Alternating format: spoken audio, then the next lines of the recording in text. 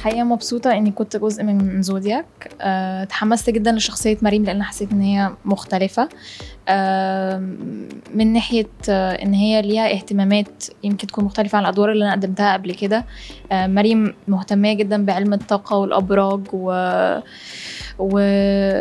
والروحانيات جدا وبتلعب ورق اسمه التاروت. ده المفروض بيساعدها إن هي تشوف يعني زي لمحات عن المستقبل.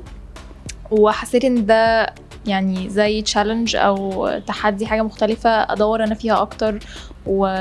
وشخصية يعني فيها شغل إن أنا أقدر آه، أضيف لي وهي تضيف لي من معلومات يعني. اتفرجت على videos كتير قوي tutorials إزاي الورق بيتلعب وإزاي إيه التفريق الصح وكل ورقة معناها إيه. وعلى آخر المسلسل كده عرفت يعني نظريا ألعب إزاي تاروت. كنت متوقعة إن زودياك فعلا هينجح بس اللي كان مفاجئ بالنسبة لي إنه آه كنا النجاح ده يمكن جزء كبير مننا كنا متوقعين هينجح مع ناس معينة أو يمكن شباب أكتر أو ناس يعني سنهم صغير أكتر.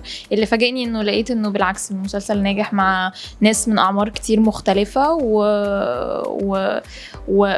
يعني وناس ما كنتيش متوقعة إن مثلا تتفرج على مسلسل زي زودياك. ف... فمبسوطة إن إحنا في شريحة كبيرة قوي من الجمهور استمتعوا بالمسلسل غير الشباب.